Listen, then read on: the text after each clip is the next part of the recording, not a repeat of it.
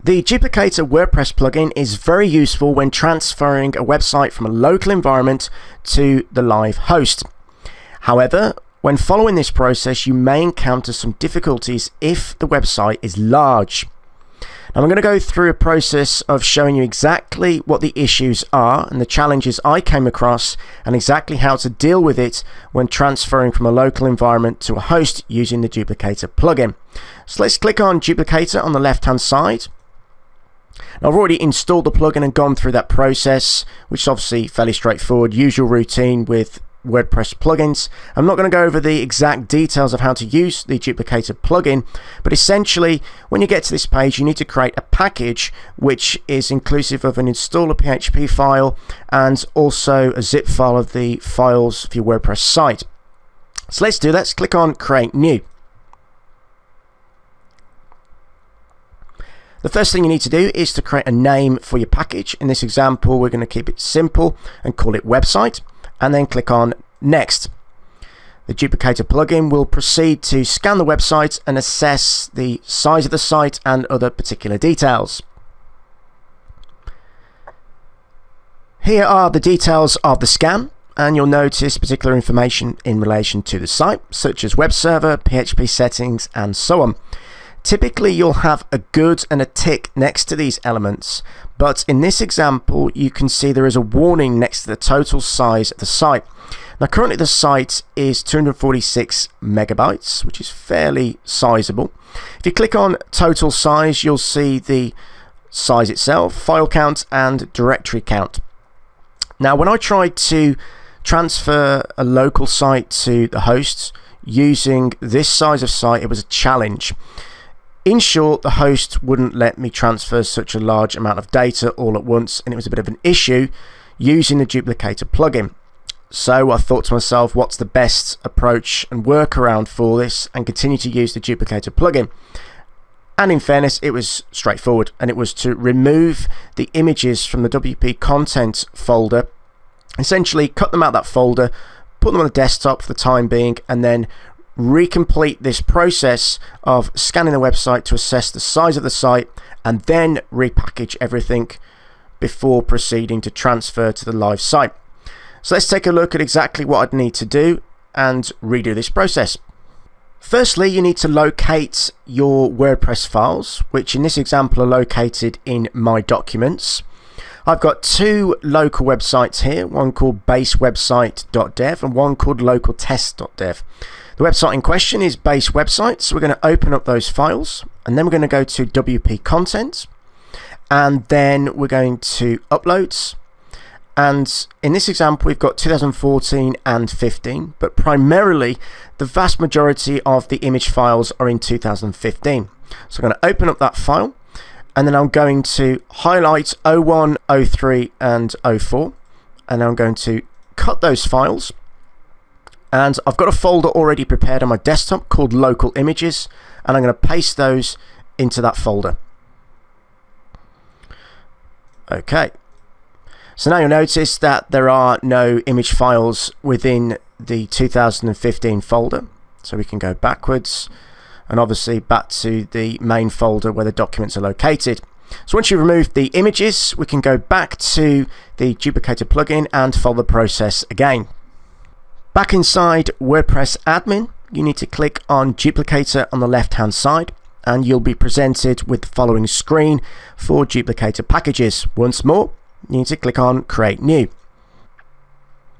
In the following screen, you need to add a name for the package. In this example, we're going to choose website no images so you know what the package is going to be associated with and there won't be any images in the zip file.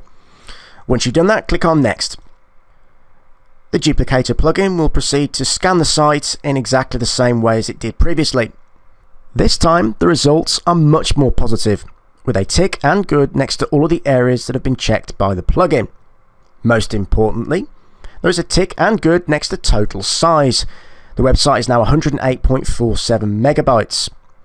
In short, you should be able to transfer this website from the local host environment to your live host using the duplicator plugin. Essentially, you'll be splitting the process into two. Follow the standard duplicator plugin process and you can watch plenty of other YouTube videos on how to do that. And then once you've uploaded all of the files to your live server, you can then follow a process of uploading the images to the appropriate WP content folder. So let's take a look at exactly what you need to do once you've followed the duplicator plugin process. Now we have FileZilla open, which is an FTP program that enables you to transfer documents, folders, and images, etc., from your local computer or elsewhere to your live host.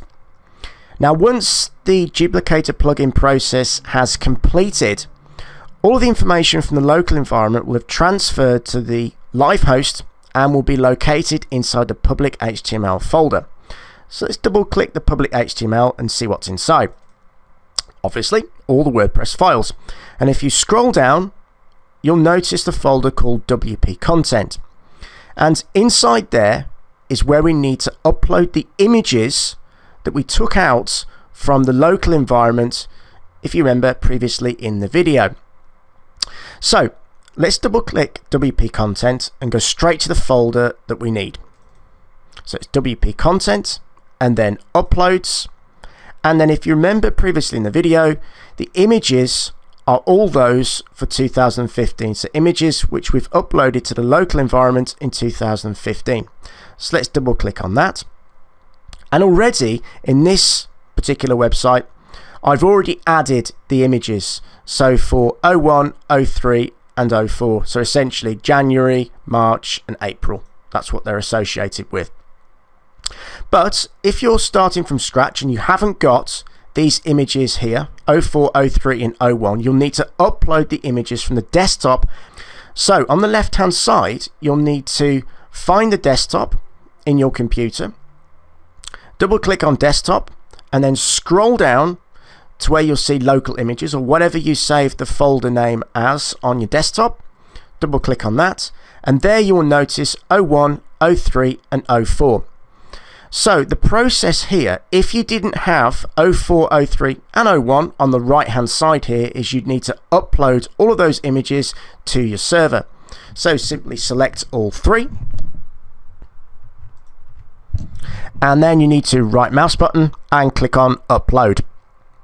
It may take some time depending on how many images that you have in those folders and the sort of size but approximately a few minutes and you'll find that all those folders will be in position on the live server. Obviously, once that's happened, you can go to your website and check that everything is working effectively.